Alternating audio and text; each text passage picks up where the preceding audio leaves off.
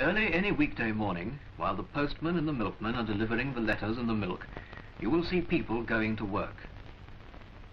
This is Jack Ellis. He's a bricklayer. Jack goes from one building site to another, so he usually has to go some distance to work. His work starts at 8 in the morning. He's helping to complete this big new block of flats, part of a municipal building scheme. There are a number of different trades in building, plasterers, painters, carpenters, scaffolders and labourers.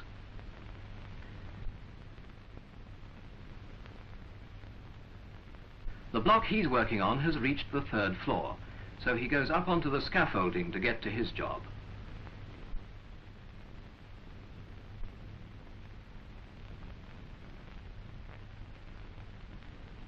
He carries his plumb rule and level in his hand and his tools in his bag. Let's see what they are.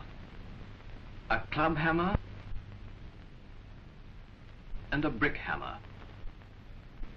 A chisel and a bolster or broad chisel. He uses all these for cutting bricks. And his line and pins. But his trowel is in his hand most of his working life. This is a fairly new one and Jack shaves it down so that it's perfectly comfortable. In the meantime, mortar is being mixed and a builder's labourer collects it to take to Jack. The men work together as a team to get the job done efficiently. Here come the bricks he will need.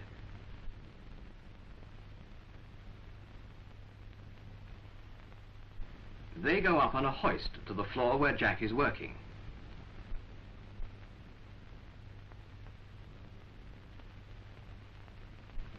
Labourers take them to him and the other bricklayers so that they're never short of materials.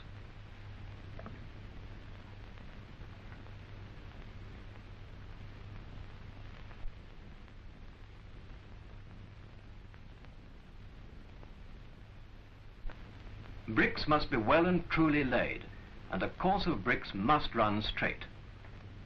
The corners or quoins are built up. He sticks in a pin and runs out his coursing line of hempen string to the next quoin.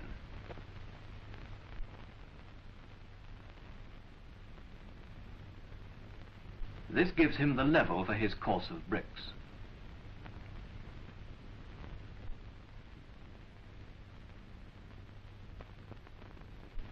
When they're working on a double wall, Jack lays the outer wall, while another bricklayer builds the inside one.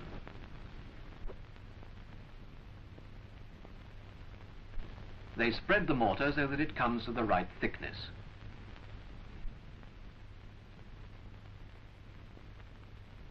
He puts a little mortar on the end. Then he lays it, keeping it level with his line.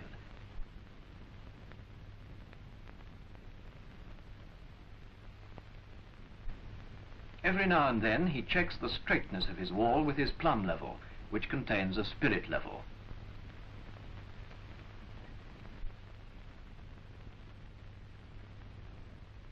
During the course of the day, the foreman bricklayer usually comes along to explain any special points.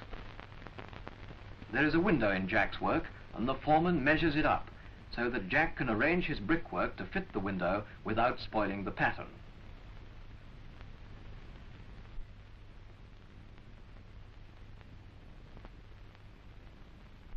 Every brick laid and every job done by the other workers is planned to turn the architect's design into a building. Detailed plans are prepared, for houses must be constructed carefully and accurately. The architect and the general foreman discuss the job, and then the foreman bricklayer has to work out the details so that the floors, the stairs and the doors come in the right places. There are circular windows in this building, and the foreman bricklayer has to get a skilled man to do the job.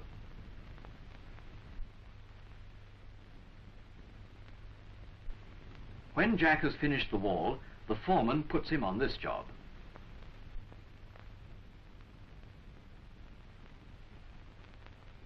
The bricks must be shaped to fit the window.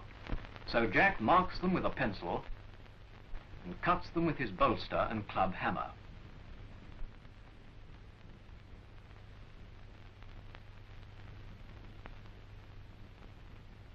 Every brick will have to be cut to shape, for bricklaying is an accurate job.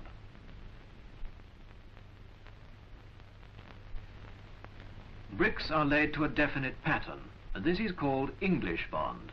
One course is all headers and the next all stretchers. Stretcher, stretcher, header, header, header.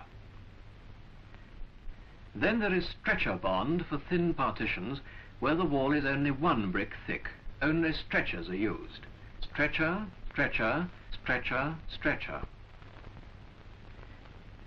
This is Flemish bond, and it's made by having alternate headers and stretchers in each course. Header, stretcher, header, stretcher, header, stretcher.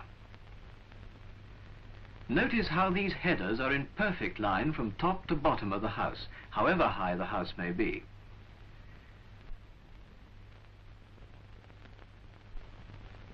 Jack uses the best bricks on the facing or outside walls, but the inside wall can be made from cheaper bricks and half bricks. It needs to be strong, not beautiful, for it will be covered with plaster. It's just as carefully laid and the bricklayer checks up to make sure the wall is perfectly upright.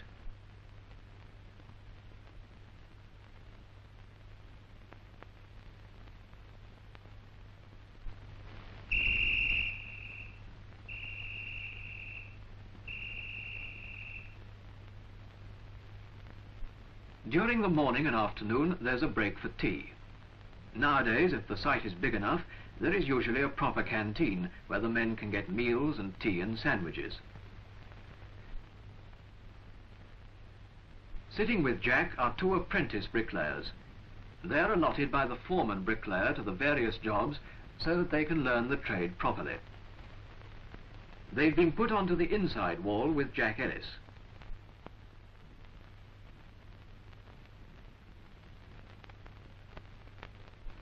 Every now and then he checks up to see how they're doing.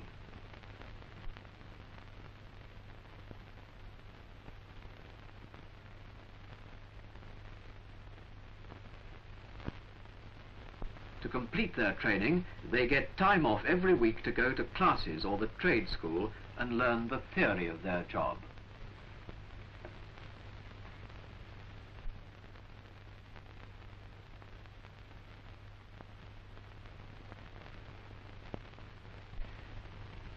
Progress of building depends on the weather. When it's raining, the bricklayers can't work. But they have a guaranteed 32-hour week, so they always get paid, even when they can't work. The foreman bricklayer finds jobs under cover for as many of them as possible. He sets Jack to work in the hall, bricking up under the stairs.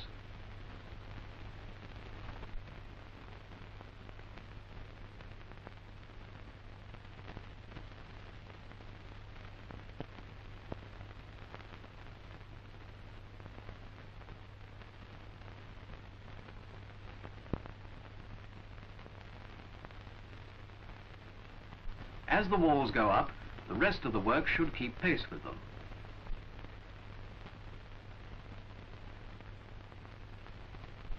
The scaffolders erect scaffolding so that it's ready when it's wanted.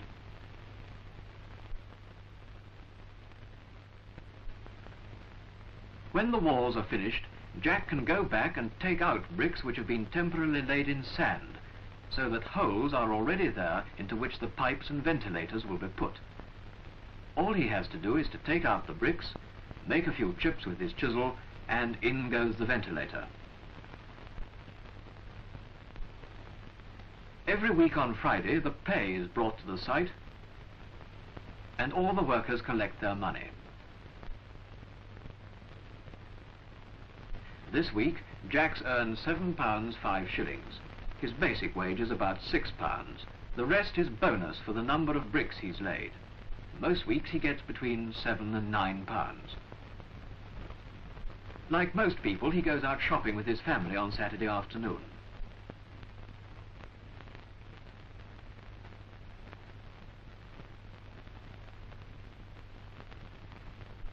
If you meet him in the street, you won't be able to tell him from anyone else, except that he's rather fitter than most because he works in the open so much. And he's got the satisfaction of knowing that he's doing a really skilled and useful job of work.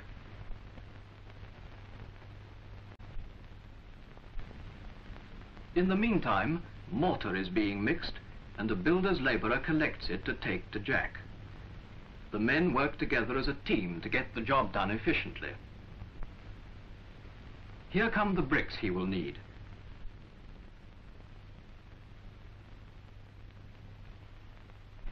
His work starts at 8 in the morning. He's helping to complete this big new block of flats, part of a municipal building scheme. There are a number of different trades in building, plasterers, painters, carpenters, scaffolders and labourers.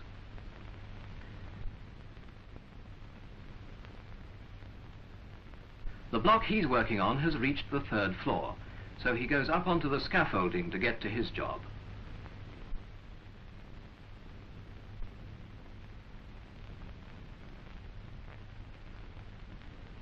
He carries his plumb rule and level in his hand and his tools in his bag. Let's see what they are. Early any weekday morning, while the postman and the milkman are delivering the letters and the milk, you will see people going to work. This is Jack Ellis. He's a bricklayer. Jack goes from one building site to another, so he usually has to go some distance to work. club hammer and a brick hammer, a chisel and a bolster or broad chisel. He uses all these for cutting bricks, and his line and pins. But his trowel is in his hand most of his working life. This is a fairly new one, and Jack shaves it down so that it's perfectly comfortable.